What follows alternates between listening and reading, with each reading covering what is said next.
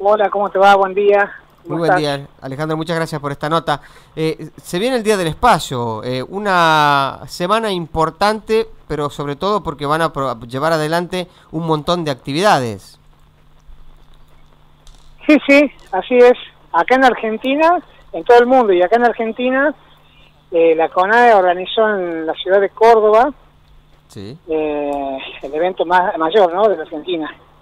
Y por primera vez estamos, va a estar muy bueno porque por primera vez eh, invitaron a gente eh, que no es del medio, están invitados muchos colegios, eh, docentes, porque en realidad lo que se busca es divulgar las carreras de ingeniería, ingeniería espacial, ingeniería mecánica, todo lo que es necesario para las agencias espaciales.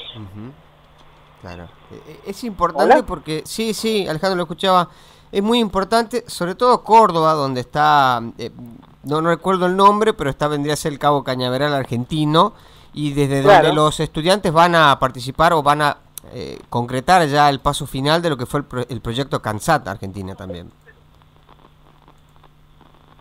¿Cómo? disculpa, no te escuché. Le, decía que Córdoba, para lo que tiene que ver con las actividades astronómicas y, lo que tiene que ver con el espacio, es un sitio muy importante en Argentina. Sí, sí, eh, inclusive van a ser este, guiados para, para los visitantes. Ya no, me, enteré que ya no hay cupo para toda la semana, porque justamente va a ir gente, eh, generalmente lo hacían con profesionales. Y este año eh, invitaron a muchos docentes, colegios, alumnos de colegios, para justamente van a hacer una visita guiada por todo el centro espacial, por los laboratorios, porque es lo que se busca, divulgar las carreras que, como te decía recién, que son necesarias para, las agencias espaciales. Eh, Alejandro, y desde el observatorio Wilcahuara, ¿qué, ¿qué tienen en mente para esta semana? Nosotros lo que hacemos justamente también de divulgación es la escuelita de astronautas, está muy bueno, es un proyecto de NASA, eh, que nosotros estamos eh, llevando a cabo acá en Tucumán, y es para chicos de entre 6 años y 14, 6 y 14 años.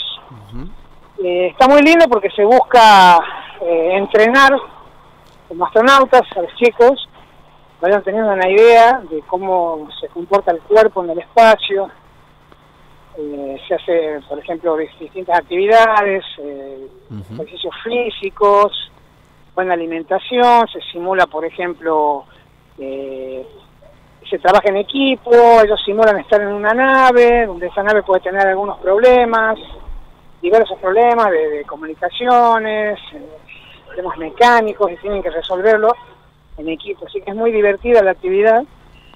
También este, ellos mismos se fabrican sus trajes con materiales reciclados. Es bastante divertido, bastante lindo más allá de la parte seria, tiene una parte lúdica, que es este, el tema de fabricarse los, trajes. Y la pasan bien, bastante bien, los docentes y los chicos. Está bueno. Eh, Eso eh, estamos haciendo ahora con el tema de, de astronáutica. Claro. Eh, Alejandro, ¿y cualquiera puede sumarse de los niños? ¿Cómo tienen que hacer para participar? Claro, para sumarse a la escuelita, eh, el docente, realmente el docente es el que tiene que anotar un equipo, se comunica con nosotros y anota su equipo. Puede ser de 15 a 30 participantes cada equipo. Bien, bien. Eh, Alejandro, te, consulto, eh, tuvimos en septiembre, por ejemplo, lo que fue el espectáculo del cometa Nishimura. Em, para el mes de octubre y pensando en lo que queda del año, eh, ¿hay algunos eventos astronómicos interesantes eh, como para recomendarle a la gente? Sí, el, tema de los cometas es, es, un poco difícil para el que no está eh, en el tema de observar, por ejemplo. Entonces, generalmente, para divulgar astronomía se hace, por ejemplo, objetos más, más, más brillantes. Por ejemplo, para octubre vamos a tener varias conjunciones, Anoche, por ejemplo, estuvo muy linda la luna a solamente 3 grados del planeta Júpiter. estuvo muy bonito para verlo. Siempre que interviene la luna es fácil y está bueno para aprovechar, para que la gente que no conoce el cielo pueda identificar eh, otros objetos. Por ejemplo, ayer Júpiter que estaba muy cerquita de la Luna. Claro. Y así, este mes va a haber, este, como siempre, todos los meses hay alguna lluvia de estrellas, pero también este, hay que alejarse de las ciudades, Tenés que tener un lugar eh, óptimo para eso, porque desde una ciudad no se puede observar generalmente las, las lluvias de estrellas. Pero este mes va a haber algunas conjunciones eh, y no más que eso, ¿no? Conjunciones significa, eh, aparentemente, algún astro está pegadito al otro. Y da la sensación de que se unen. Sí, es, es la impresión que da, porque en realidad están generalmente alejados, pero desde el punto de vista nuestro, aparecen eh, pegaditos. Claro. ¿Y cuándo tendríamos, por ejemplo, una conjunción? Y bueno, tuvimos una noche, después tenemos también em, que este, este, mes también va a estar eh, bien cerca, en el punto más cercano a, a nuestro planeta, el planeta Júpiter, se va a estar bueno para hacer fotografías, los que se dedican, o para observarlo, porque aunque sea con unos pequeños binoculares se puede observar mejor cuando se, se aproxima, se ven mejor los colores, las lunitas. Así que bueno, eso va. Este mes se va, a recomendar eso. Está bueno. Eh, ¿Siguen con el tour astronómico solar, eh, Alejandro? Sí, el tour solar se hace siempre hasta, en Tucumán lo hacemos hasta fines de octubre, porque después por lo que hace mucho calor, claro, ya se complica. Ya guardamos el equipo y empezamos recién en marzo. Hacemos el tour solar, que es muy lindo, es un paseo por la estrella, tenemos eh, son tres telescopios que van penetrando eh, hacia adentro del Sol, con el primero vemos la cromósfera, que serían las nubes del Sol, con el segundo equipo se penetra hasta 2.500 kilómetros, en la fotósfera se, se observa el helio, con el tercer equipo, que tiene un filtro de calcio K, se penetra también hasta los 4.000 kilómetros dentro del Sol.